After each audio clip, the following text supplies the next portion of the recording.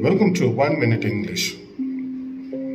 Today's word abandoned. It means to leave someone with no intention of coming back or returning. Example The child had been abandoned by its mother. Thanks for watching this video. Thank you.